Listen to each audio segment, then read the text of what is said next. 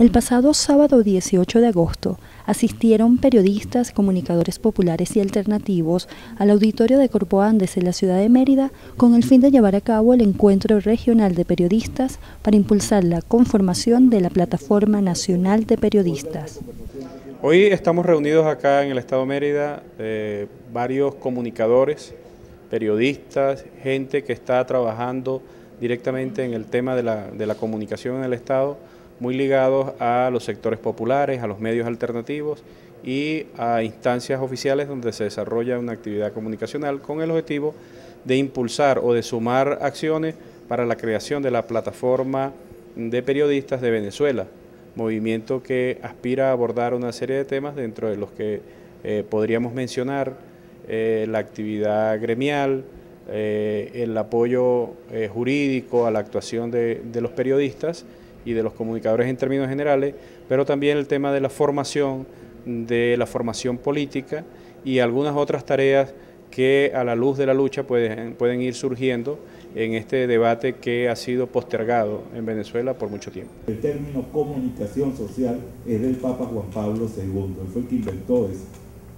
Antes de eso, hablábamos de comunicación de masa. La plataforma es un movimiento mucho más amplio en el sentido político que toca aspectos que tienen que, ver con, con las reivindicaciones de los periodistas, que toca aspectos filosóficos en cuanto al concepto de comunicación, de periodismo, este, que, tiene que ver con el compromiso de los periodistas con, con las luchas populares y que se preocupa también por, por rediscutir la concepción de periodismo y de comunicación.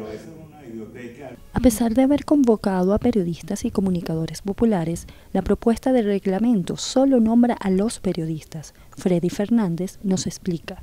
Sí, bueno, nosotros estamos manejando el concepto de periodismo desde un concepto muy, amplio. Nosotros no estamos pensando que periodista es quien tiene un título que le otorga esa condición sino que periodista es alguien que ejerce un oficio eh, vinculado a los medios de comunicación. En cambio, comunicador es una concepción más amplia y menos precisa. Por ejemplo, quienes trabajan en publicidad también trabajan en, la comunicación o quienes trabajan en el ámbito de las relaciones públicas. Y creo que este es un movimiento de quienes trabajan con, dentro y por los medios de comunicación y no en la esfera de la publicidad, no en la esfera de la imagen pública. Y quienes hacen este trabajo son periodistas, no importa si lo hacen como fotógrafo o como camarógrafo o como locutor. Y por eso es un movimiento fundamentalmente de quienes tienen que trabajar con la información, este, buscarla, procesarla, editarla y transmitirla. Sin embargo, esta situación causó cierta reacción en quienes participaron de la convocatoria como comunicadores populares. A nivel de, que tú me comentabas, a nivel periodístico, este, que yo como comunicador popular, bueno, porque tiene que, tiene que nacer esta propuesta de periodista, pero ahí dentro de esa propuesta ellos deben tomar en cuenta a los periodistas de la comunicación alternativa y popular. Se espera que esta nueva forma de organización fortalezca y adicione elementos que consoliden la revolución bolivariana, haciendo permanente el debate político en materia comunicacional. Sí, bueno, el primer gran objetivo es el de contribuir de manera decidida a la revolución bolivariana. Yo creo que hace falta un poderoso movimiento de periodistas que sea capaz de actuar de manera organizada en esta batalla en la cual ya tenemos 14 años luchando.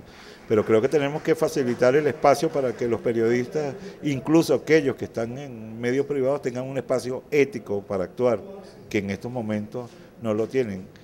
Creo que esa es nuestra principal misión, es decir, como soldados de esta batalla comunicacional que se da en el país, estar más organizados y poder este, contribuir a la victoria de manera decidida, de manera organizada, utilizando mucho mejor el instrumental que nosotros tenemos.